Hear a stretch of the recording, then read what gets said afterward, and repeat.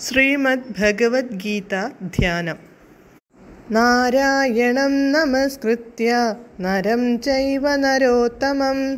देवीं सरस्वतीं व्यासं ततो जयमुदीरयेत्।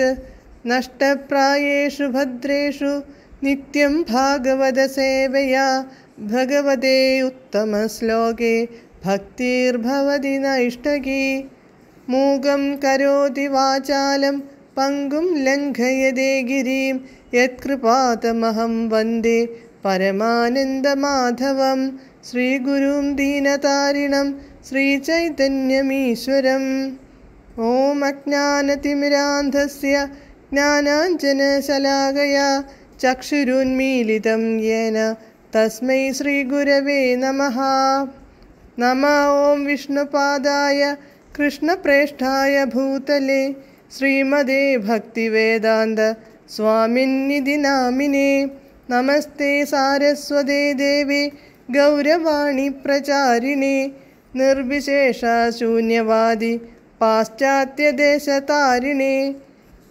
ജയ ശ്രീകൃഷ്ണ ചൈതന്യ പ്രഭു നിത്യാനന്ദ ശ്രീ അദ്വൈത ഗദാധര ശ്രീവാസാദി ഗൗരഭക്തവൃന്ദ ഹരേ കൃഷ്ണ ഹരേ കൃഷ്ണ കൃഷ്ണ കൃഷ്ണ ഹരേ ഹരേ ഹരേ രാമ ഹരേ രാമ രാമ രാമ ഹരേ ഹരേ ഹരേ കൃഷ്ണ ഹരേ കൃഷ്ണ കൃഷ്ണ കൃഷ്ണ ഹരേ ഹരേ ഹരേ രാമ ഹരേ രാമ രാമ രാമ ഹരേ ഹരേ ഹരേ കൃഷ്ണ ഹരേ കൃഷ്ണ കൃഷ്ണ കൃഷ്ണ ഹരേ ഹരേ ഹരേ രാമ ഹരേ രാമ രാമ രാമ ഹരേ ഹരേ. ഭഗവത്ഗീത യഥാരൂപം. ശ്ലോകം പത്ത് പേജ് നമ്പർ നൂറ്റി എൺപത്തി അഞ്ച് സഹയജ്ഞാ പ്രജാ സൃഷ്ട്വ പുരോവാച പ്രജാപതി. അനേന പ്രസവിഷ്യധ്വ മേഷവോസ്ത്വിഷ്ടകാമധുക് പദാനുപദം പുരാ പണ്ട്. സഹയജ്ഞാഹ. യജ്ഞങ്ങളോടുകൂടി പ്രജാഹ. പ്രജകളെ സൃഷ്ടുവ. സൃഷ്ടിച്ചിട്ട് പ്രജാപതി പ്രജാപതി ഉവാച പറഞ്ഞു. അനേന ഇതുകൊണ്ട് പ്രസവിഷ്യധ്വം നിങ്ങൾ വർദ്ധിക്കണം ഏഷഹ ഇത് വഹ നിങ്ങൾക്ക് ഇഷ്ടകാമധുക്ക് അഭീഷ്ടങ്ങളെ തരുന്നതായി അസ്തു ഭവിക്കട്ടെ. വിവർത്തനം. സൃഷ്ടിയുടെ ആരംഭത്തിൽ പ്രജാപതി ദേവന്മാരെയും മനുഷ്യരെയും ഒപ്പം തന്നെ വിഷ്ണുവിനായുള്ള യജ്ഞങ്ങളെയും ഉത്പാദിപ്പിച്ച ശേഷം അവരെ ഇങ്ങനെ ആശീർവദിച്ചു. ഈ യജ്ഞത്തെ കൊണ്ട് നിങ്ങൾ സന്തുഷ്ടരാവുക. മോക്ഷപ്രാപ്തിക്കും സുഖജീവിതത്തിനും വേണ്ടുന്നതെല്ലാം ഇതിൽ നിന്ന് നിങ്ങൾക്കു ലഭിക്കും. ഭാവാർത്ഥം. ഭദ്രരായ ജീവാത്മാക്കൾക്ക് ഈശ്വരധാമത്തിൽ തിരിച്ചെത്താൻ ഒരവസരം നൽകുകയാണ് ഭൗതിക സർഗത്തിലൂടെ സ്രഷ്ടാവ് വിഷ്ണു ചെയ്തത്.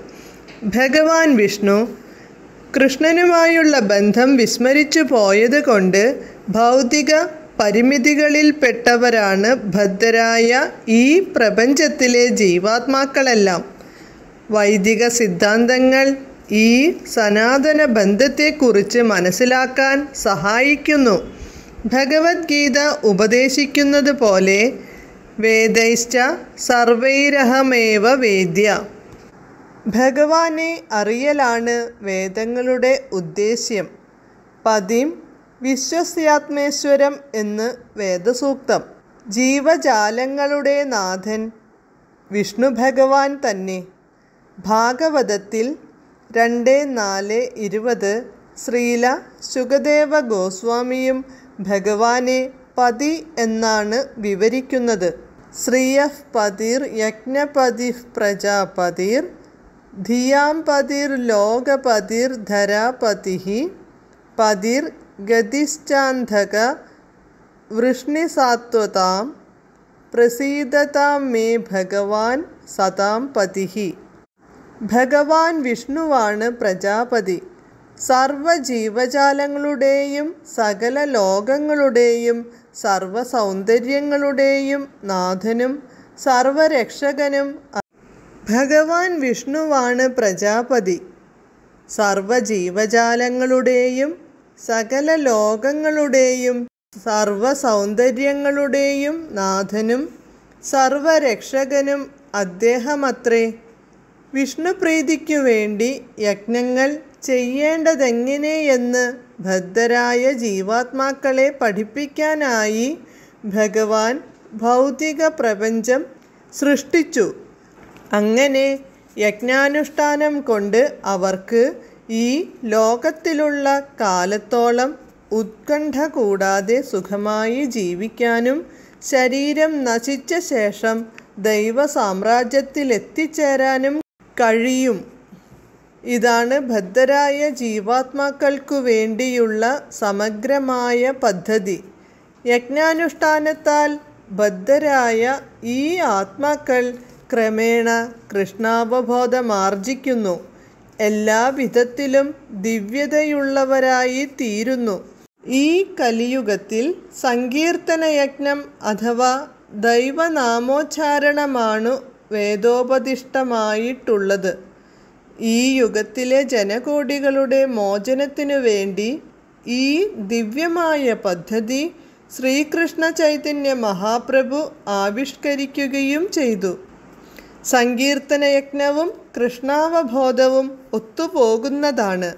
ഭക്തിയുടെ മൂർത്തിമത് ഭാവമായ ചൈതന്യ മഹാപ്രഭുവിനെക്കുറിച്ച് അഥവാ കൃഷ്ണനെ കുറിച്ച് ഭാഗവതത്തിൽ സങ്കീർത്തന യജ്ഞത്തെ പറ്റിയുള്ള വിശേഷ സൂചനകളോടെ പരാമർശിക്കുന്നുണ്ട്. കൃഷ്ണവർണം തുഷാകൃഷ്ണം സാങ്കോപാങ്കാസ്ത്ര പാർഷദം യജൈന്യ സങ്കീർത്തന പ്രായർയജന്തി ഹി സുമേധസ കലിയുഗത്തിൽ സുമേധസ ബുദ്ധിയുള്ള ജനങ്ങൾ സഹചാരി സമേതനായ ഭഗവാനെ സങ്കീർത്തന യജ്ഞത്താൽ ആരാധിക്കുന്നു. വൈദിക സാഹിത്യത്തിൽ വിവരിക്കുന്ന മറ്റു യജ്ഞങ്ങളുടെ അനുഷ്ഠാനം കലികാലത്ത് എളുപ്പമുള്ളതല്ല. എന്നാൽ സങ്കീർത്തന യജ്ഞം ഭഗവത്ഗീതയിൽ ഒമ്പത് പതിനാല് പറഞ്ഞിരിക്കുന്നത് പോലെ ലളിതവും എന്തുകൊണ്ടും ഉദാത്തവുമാണ്. ഹരേ കൃഷ്ണ.